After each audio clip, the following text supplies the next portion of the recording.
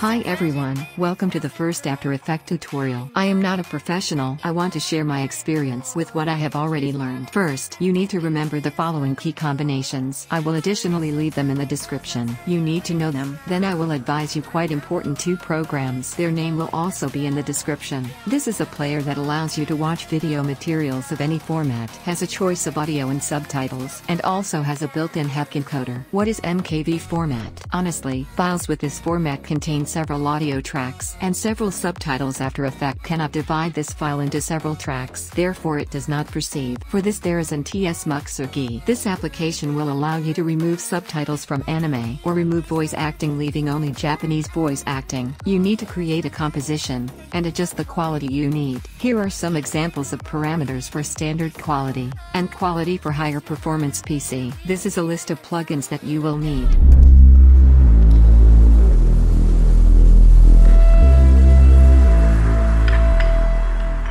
If you work with anime, then you should put 23 976 FPS. This is the standard of animation studios, and it is not advisable to set a higher or lower value in order to avoid deformation of frames and effects superimposed on them. This number will help to work with the Twixtor, which will give a very smooth result. Then, you can set the desired time and create a composition. The interface looks loaded, but do not be alarmed. It is much easier than you think. All effects and presets are stored here. Here is the setting for the preview screen. The panel were the settings of the effects that you have already applied on the layer.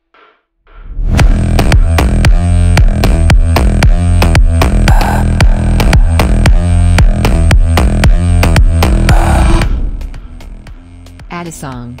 Open its graph and put markers in the places you need. If you want to shrink the unnecessary area, you need to drag the timeline and click transform to the entire work area. These values will also change in the composition itself. Add anime. To align the scaling press shift. This function is very useful with this key you can precisely navigate between markers or select several layers at once. How to cut a layer. Control Shift D. And for more convenience, you can enter the video layer by clicking on it, which makes it easier to find and select a moment. After trimming the moments, you should create a pre-composition. Pre-composition is a very important property. It can scale the boundaries of the material to the entire working area. This this will help to create another composition inside the main composition and work in a separate place with one of the video moments separately. All transformations take place in the transform. How to work with effects further. Most of the transformations work through keys. With the help of keys you can customize almost everything. Here the scale, rotation, transparency. You can turn on the 3D function, which will give more functions and abilities of 3D animation. I will create a random animation for the demo. As I said, everything works through keys. After animation you can enable enable motion blur which will give a smoother result. To see the keys on a layer, you need to press U. The animation looks very sharp. After pressing F9, your keys will have a graph setting. While they are in standard form, you can advance them as you wish but after converting to F9. If you want to move the marker, you must hold down Alt so that the graph between them is not deformed.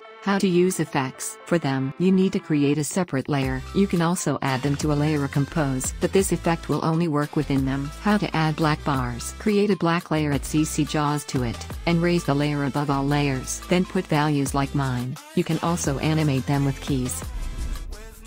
This is where the first lesson comes to an end. If I help you, I will be grateful if you are active, and share this video. Wait for the continuation, I have more to tell you.